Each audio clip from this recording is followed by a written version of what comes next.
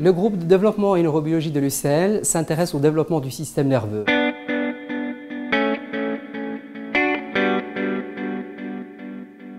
Chez l'homme, ce long processus commence dès la troisième semaine de gestation et ne s'achève qu'à l'adolescence.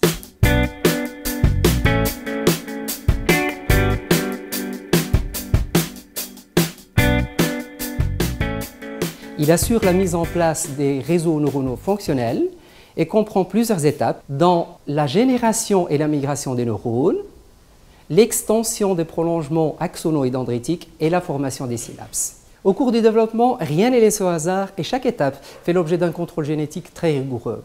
Le moindre dysfonctionnement dans ce système de contrôle, suite à des mutations par exemple, conduit à des conséquences dévastatrices qui vont de malformations graves incompatibles avec la vie à des troubles de comportement et d'apprentissage dont le coût social et économique est considérable.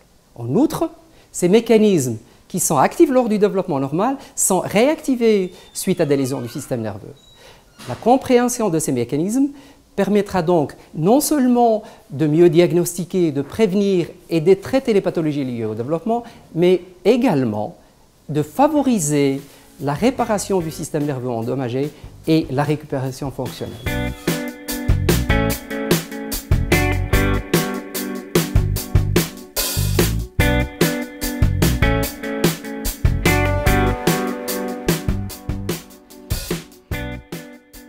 Notre approche du développement du système nerveux consiste à engendrer et à étudier des modèles génétiques chez la souris. Au cours des dix dernières années, nos efforts se sont concentrés sur une famille de trois gènes, les gènes CELSR, qui codent pour des protéines membranaires impliquées dans l'adhérence et la polarité cellulaire. Lorsque nous avons commencé ce projet, deux membres de la famille étaient répertoriés dans les bases de données, mais rien ou presque n'était connu quant à leur fonction. Nous avons eu la chance d'identifier le troisième membre, le gène CLSR3.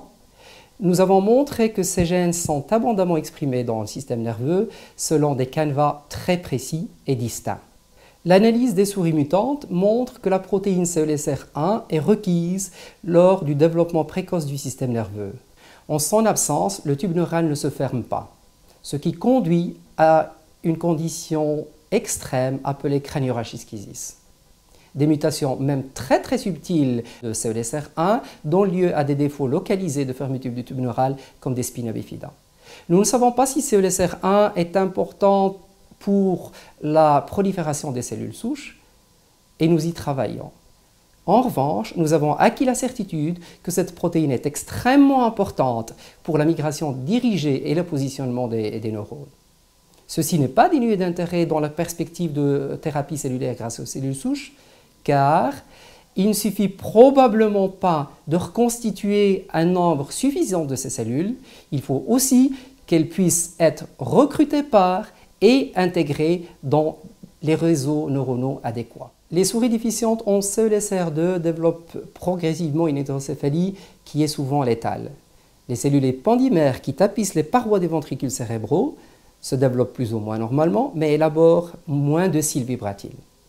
En outre, en réseau de défaut de polarité, ces cils battent de manière non coordonnée et sont dès lors incapables de faire progresser le liquide céphalorachidien.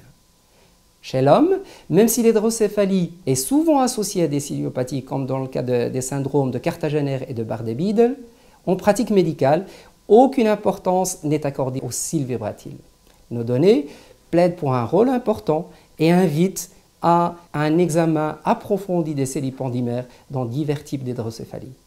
Enfin, nos travaux ont permis d'identifier CELSR3 comme un acteur majeur et insoupçonné du guidage axonal et du câblage du système nerveux. La perte de fonction de CELSR3 se traduit par l'absence complète de faisceaux axonaux aussi importants que la capsule interne et diverses commissures cérébrales. Chez les mutants CELSR3, et en raison de l'absence de la capsule interne, aucune information sensorielle n'est relayée au cortex cérébral et aucune commande corticale n'est transmise aux aires sous-corticales. CELSR3 est tout aussi importante pour le développement du système nerveux périphérique. En effet, son inactivation dans les motoneurones de la moelle lombaire perturbe très fortement le développement du nerf sciatique et se traduit chez l'adulte par des troubles locomoteurs et dans les cas extrêmes par une paralysie des membres inférieurs. Les protéines cellulaires sont donc des partenaires importants du développement du système nerveux. Nos projets actuels et futurs visent à élucider leurs mécanismes d'action, à identifier leurs partenaires et à essayer de transformer ces informations fondamentales en termes d'application biomédicale.